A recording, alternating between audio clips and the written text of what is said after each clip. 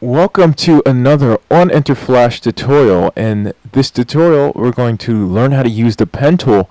You may wonder to yourself, why do I have Dora the Explorer, Stewie Griffin, and Hey Arnold up here? Arnold Shortman, why do I have them? Well, I just figured that I would put the weirdest looking cartoons that you know children and adults look at, and I was going to outline their heads. I mean, there. I mean, there's stuff really wrong with these kids. Uh, they really should have. The parents are irresponsible for letting their heads get to this stage in their life. You know, it. there's there's something really wrong with their heads because you know if you look in the background, if you look a little close, see that these characters they don't have heads like like Arnold and Stewie. I mean, he's this is looks like you know this looks like Stewie's father right here. Well, anyway, I put all these heads on one layer and I'm gonna lock that layer. I've created a second layer and if you want to know how to do that you just go down to the uh, new layer button and press that. Uh, now I have this new layer, layer 2 and in layer 2 I'm gonna select my pen tool. Well if, if you don't know how to import uh, images into um, Flash it's really simple. You go to File, Import, import to stage, which I've done, which imports your items to the stage, of course, or import to library, which brings your items into the library, which you can easily drag and drop your items onto the stage, like so. Alright, let's get into the pen tool. The pen tool, it is right here. It looks like uh, it looks like a one of those um, old fountain pens, you know, pen tool. There you go. Pen tool is very useful for making these really complex shapes. I consider these complex shapes. They're not the most complex, but they are. They're not an, just an oval or um, mere rectangles or they're, a bunch of curves and lines. And as you get better with drawing, you will begin to create more complex um, items. I'm going to go to the properties here and I'm going to turn up the stroke to, uh, I guess I'm going to turn it up to 2. Alright, now I'm going to begin with Stewie's head because it seems to be the simplest. And all I'm going to do is just draw an outline and uh, yeah. So this is how it works. You select your pen tool. You start at a point, reasonably a point where maybe uh, there's a corner or, you know, where you feel as though when you go come full circle, it'll be easy to come to. So I'm going to start at this air right here. So I just click once and let go. If you can't see it, there's this like teeny weeny, well, there was like this teeny weeny bubble there, but it is there, trust me. So I click once, it's there. Now I find a point where I click again. So let's say I click on the next air.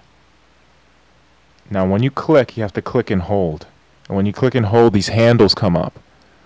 Now you can see that uh, Stewie Griffin's head is not really going well to this because um, I'm trying to go beyond 90 degrees.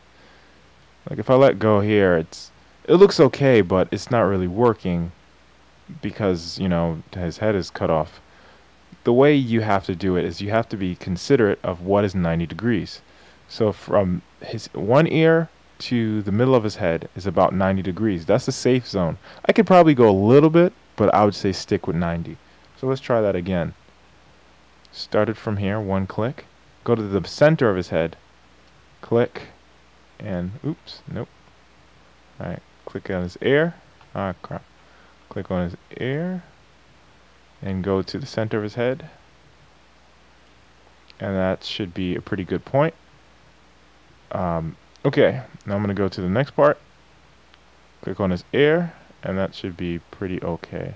But you kind of see that there's like a hump there. Even if you get really close, still kind of a hump going on there. And you're wondering, why is that?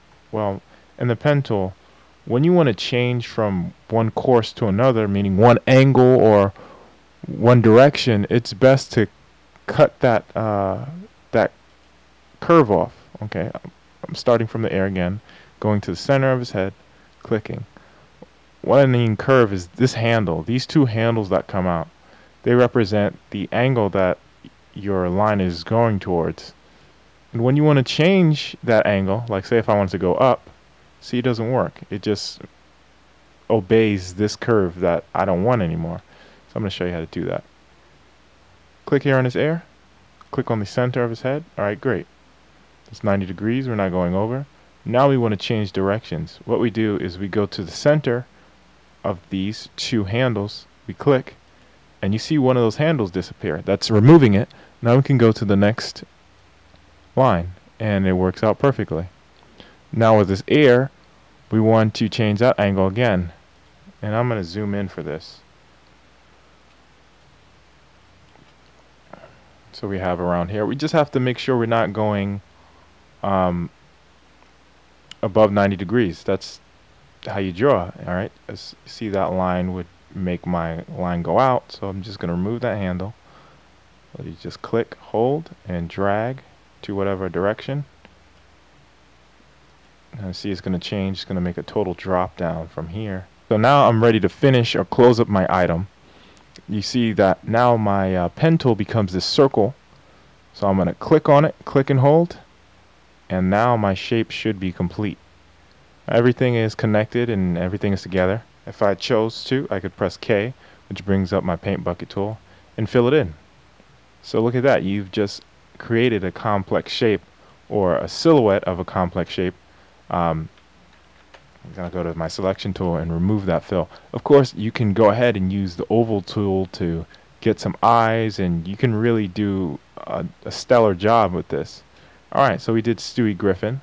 Let's move on to Dora the Explorer. No, wait. No, okay. We're going to move on to Arnold. False alarm. Sorry, people. Right now, we want to go to Arnold's head. And we're not going to do his head because we kind of have an idea of how to do that because we're doing Stewie's head. And they're pretty much from the same mold. What I want to get down is his hair. His hair is a somewhat complex item. So I'm going to press the... Ooh. Alright, I'm going to press P for the pen tool. And we're going to learn how to make these, these sharp spikes that are uh, complex items. So I'm just going to start at one of these corners. Corner of his hair right here. Start click. And this doesn't go above 90 degrees. So I can catch that line there. I'm going to remove that curve by clicking right in the center. That handle goes away. And I'm going to pull inward because it's a inward like a shark tooth kind of thing going on click that away because there's a lot of direction changes in his hair.